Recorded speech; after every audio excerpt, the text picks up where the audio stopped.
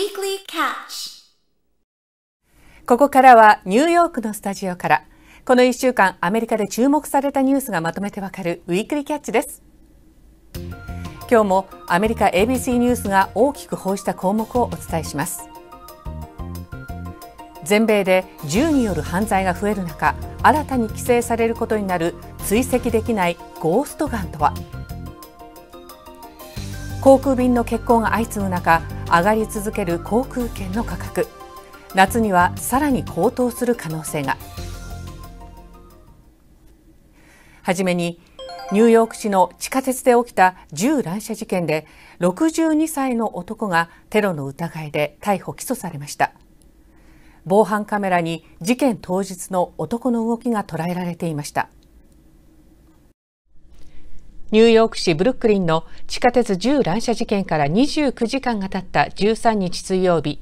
マンハッタンでフランク・ジェームズ被告62歳が逮捕されました。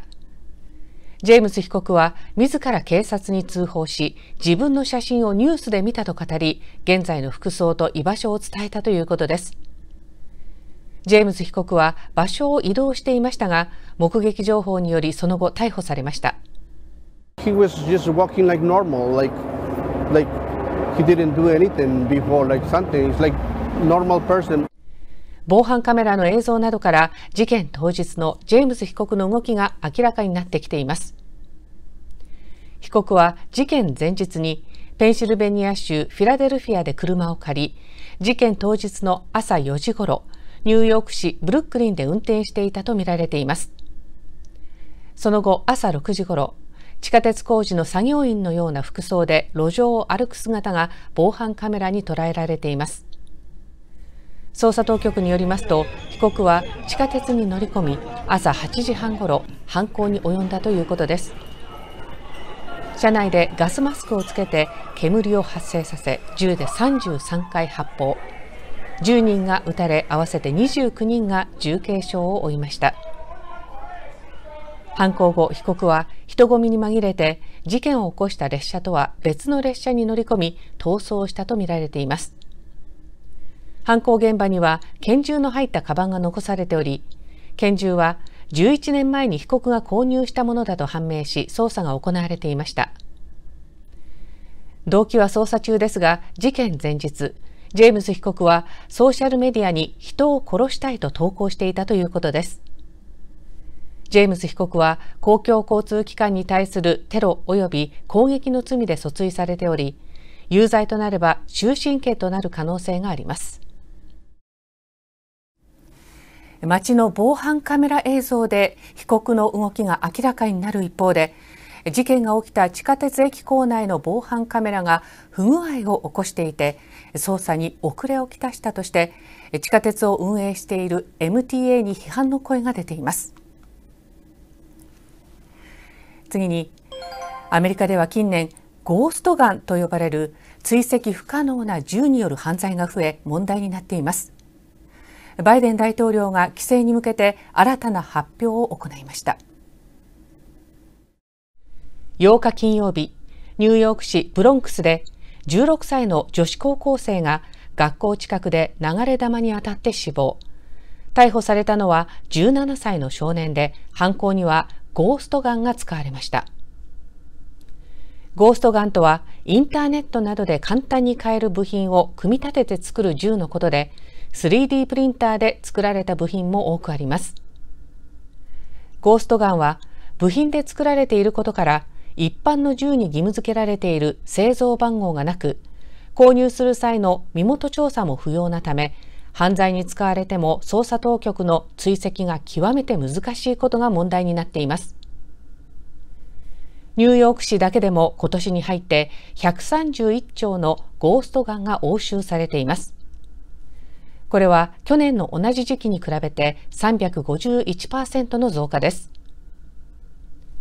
そうした中、11日月曜日、バイデン大統領はホワイトハウスで会見を行い、ゴーストガンについて他の銃と同様の規制を課すことを発表しました。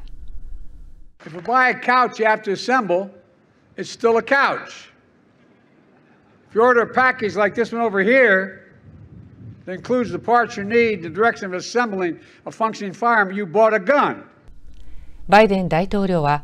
今後はゴーストガンを作る銃の部品キットについても追跡できる製造番号と販売する小売業者に客の身元調査を義務付けるとしています。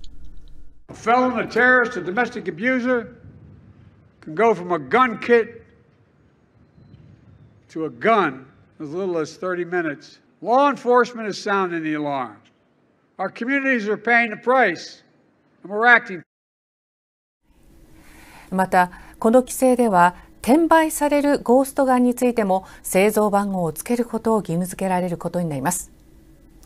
NRA 全米ライフル協会はこの規制について極端だとして反対する意向を示していますがバイデン政権は夏にも施行できるとしています。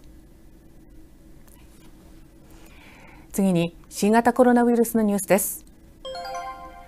アメリカでは緩やかながらも感染者数の増加が見られています。オミクロン株の新たな亜種への感染が警戒されています。アメリカでは感染力が強いとされるオミクロン株の亜種 BA.2 が新規感染者の86%を占めていると推定されています。そうした中、13日水曜日、ニューヨーク州の保健当局は、オミクロン株の2つの新たな亜種の感染が広がっていると発表しました。州の中部では、新規感染者の90%を占めており、警戒を促しています。新たな亜種はオミクロン株 BA.2.12 と BA.2.12.1 と呼ばれ、感染力が強いとされる BA.2 よりさらに25%感染力が強いとみられています。これらの亜種はアメリカ国内の30州で確認されているほか、世界40カ国で確認されているということです。We don't know yet if it's more contagious or if potentially has the ability to evade the immune system. Either way, we know that they confer a growth advantage, which means that they're spreading rapidly in the community. 全米の新規感染者数は26州で増加しており、入院患者数は11州で増加しています。一方、感染者数のデータに関しては、正確でない可能性が指摘されています。オミクロン株が流行していた時期には、1日に260万人が検査を受けていましたが、現在は1日に50万人で、専門家は実際にはより多くの感染者がいると見ています。政府関係者や議員などの間でも感染が広がっており、11日月曜日の段階で少なくとも24人の感染が確認されています。そのうち数人は2日にワシントン DC で行われた夕食会に参加していました。この夕食会では集団感染が発生しており、参加者のうち少なくとも80人の感染が確認されていますが、重症者はいないということです。The pandemic isn't over, right? We're still going to see cases of, uh, of this virus spreading. Uh, and we have to continue to be vigilant. We have to continue to be careful. そうした中、11日月曜日、ペンシルベニア州フィラデルフィアは屋内施設でのマスク着用義務を再開すると発表しました。平均の新規感染者数は142人ではあるものの、過去10日間で50%以上増加しており、規制の再開に踏み切りました。18日から施行されます。I hope that our actions will slow the spread of COVID and help us avoid seeing our ERs once again get so crowded that people can't get timely care when they need it. コロンビア大学やジョン・ホプキンズ大学などいくつかの大学では屋内でのマスク着用義務を再開しています。また地下鉄、バス、旅客機など公共交通機関でのマスク着用義務が18日に期限を迎える予定でしたが13日水曜日 CDC 疾病対策センターはこの規制を来月3日まで延長しました。次のニュースです。3月の消費者物価指数が発表され40年ぶりの高水準を再び更新しました。止まらないインフレ。中でも深刻なガソリン価格の値上がりを抑え込むため新たな対策が打ち出されました。12日火曜日に労働統計局が発表した3月の消費者物価指数は前の年の同じ月に比べて8.5%上昇し、インフレに拍車がかかっています。My rent is absolutely ridiculous. I come to the food bank every week because they have fresh vegetables and stuff that I can't necessarily afford. 急激なインフレはアメリカだけの問題ではなく、パンデミックで引き起こされた世界的な供給網の混乱が主な原因とされています。そこにロシアのウクライナ侵攻が加わり、中でもガソリン価格の高騰が深刻な状況となっています。バイデン大統領は12日火曜日、ガソリンの価格を抑制するための対策を発表しました。I'm doing everything within my power by executive orders to bring down the price and address the Putin price hike. 新たな対策では、スモッグの原因になるとして、夏の間の販売が禁止されていた E15 と呼ばれるガソリンを今年は1年を通して販売できるようにするということです。E15 とはガソリンに15%のエタノールを混ぜた混合ガソリンで一般的なレギュラーガソリン E10 より1ガロンあたりおよそ10セント安く販売されています。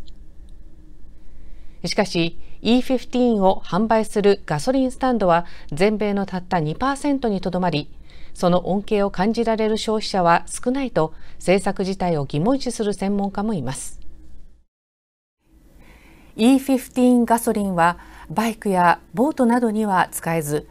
乗用車でも E15 ガソリンが使えるものと使えないものがあるので、専門家は故障した場合に保証の適用対象外になる可能性もありメーカーに問い合わせるよう進めています。次です。悪天候や人手不足で航空便の欠航が相次いでいます。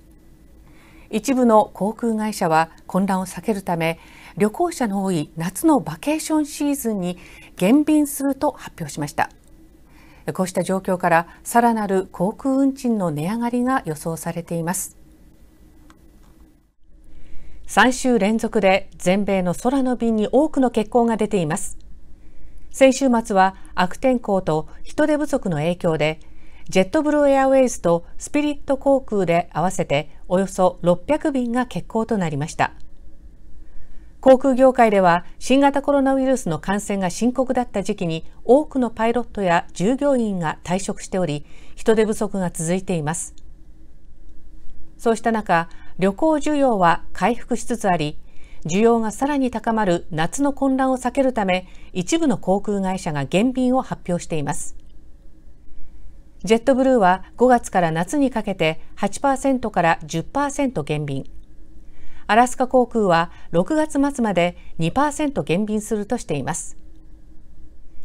旅行需要が高まる中での減便に加え、燃料価格の上昇で航空運賃のさらなる値上がりが予想されています。航空運賃はすでに今年初めと比べて40%値上がりしており、専門家は5月の終わりまでにはさらに10%値上がりすると見ています。専門家は春から夏にかけての旅の計画は早めに立て航空券も早めに購入することを勧めています。それでは今週のウィークリーキャッチはこの辺でお別れです。どうぞ素敵な週末をお過ごしください。ごきげんよう。